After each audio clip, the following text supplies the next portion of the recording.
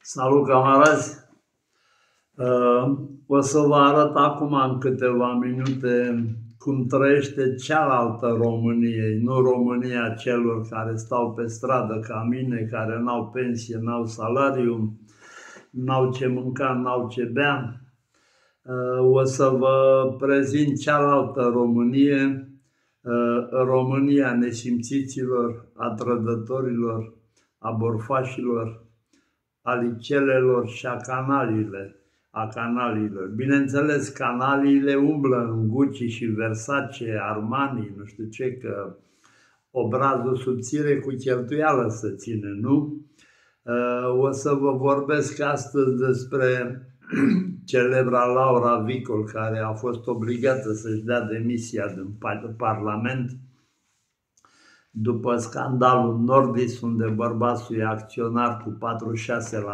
46%, ciorbă, ciorbă îl cheamă pe bărbatul, nume frumos, predestinat,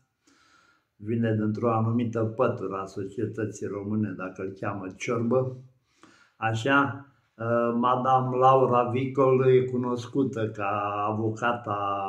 interlopilor, ea apăra pe frații cămătarii, Cămătaru, pe celebra fugară Alina Bica și toate vedetele astea, deci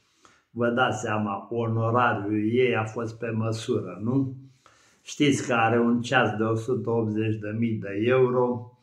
și numit ceasul vedetelor și conduce un Bentley de 500.000 de euro,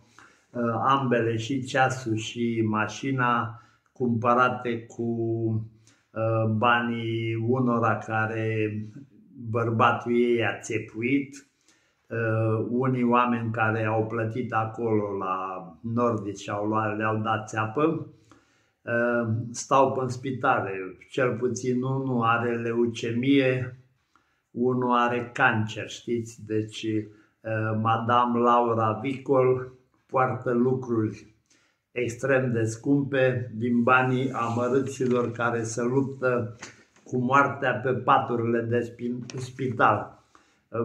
Nu poți să spui decât că e o scursură, că o ființă umană nu face așa ceva, numai scursurile, javrele, jegurile umane care și-au pierdut toată umanitatea, arată ca noi, dar nu mai sunt oameni, sunt fiare sălbatice, obsedați de bani prin orice și trec și peste cadavre numai să ia banii. Uh, doamna uh, Laura Vicol mai are și multe, multe averi, multe imobile, apartamente, terenuri, deci bunuri, avere în imobile, apartamente și terenuri și în București și în alte localități, și Vilan și extravilan are 11 conturi bancare, deci vă repet, Madame Laura Vicol are 11 conturi bancare, are depozite bancare de 340.000 de euro, când majoritatea românilor n-au văzut niciodată nici măcar 3400 de euro cum arată, Individa asta are cont bancar de 340.000 de euro, mai are alte conturi uh, cu o sumă de, adică adunate toate cam vreo 550.000 de lei, deci asta mai fac încă vreo 100.000 de euro. Madame Vicol are și bijuterii, că se respectă, în afară de ceasul ăla de 180.000, are și bijuterii de 100 de mii de euro, nu că v-am zis, obrazul subțire să ține cu cheltuială prin țep și prin furtișaguri. Așa,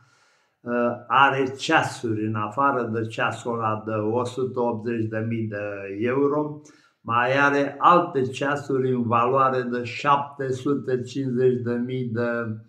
ă, de lei. Înțelegeți? Asta fac și astea vreo 100 și ceva de mii de euro. Salariul ei de la Parlament e de 132 de mii de lei pe lună, deci uh, nu mai vă zic, vreo 30 de mii de, nu, salariu anual. Deci vreo 30 de mii de euro, dar asta e, e bonus, asta e pe lângă, știți? Deci, băi, frate, v-am prezentat uh, ce avere are Madame Laura Vicol, care are un bărbat țepar, uh, care au dat țeapă de vreo 140 de milioane la oameni, uh, i-au prostit împreună și cu influențării de cacao, tot la fel de canalii ca și ei, Shelly, Madame Țepuș, asta tot o ciudată, Alina Ceu, Ceușan, împreună și cu președintele Federației de Fotbal, securistul Burleanu, și Andra a fost la inaugurarea hotelului de la Mamaia, și Andreea Raicu, adică uh, artiștii României care merg în patru labe, adună cu două mâini orice bani, chiar dacă e plin de sânge, nu contează, îl spală că banii n-au miroștiți. Ă, jeguri ca și ei, deci avem aici o coaliție a jegurilor cu față umană, niște scursuri, niște nesimțiți care nici nu știu cum se trăiește în România, cum oamenii își, cre- își cresc copiii cu eforturi, cu muncă, unii muncesc și bonlavi, ă, plătesc cu sânge, lacrimi și sudoare. Orice efort, orice bănuț, Ăștia nu mai, ăștia trăiesc în turnul de fildeș, ei nu știu ce e amărăciunea, ei știu doar ca să dea țepe și să trăiască ei bine, să moară toți, să rămână ei singuri pe planetă. Bă, asta e mentalitate de hiene, de scursuri cu față umană și eu zic că și-ar merita glonțul ca neanicu, știi? Hai, vă aștept la comentarii, vă pup cu drag, rămânem precum catari, umăr la umăr. Pa, camarazi!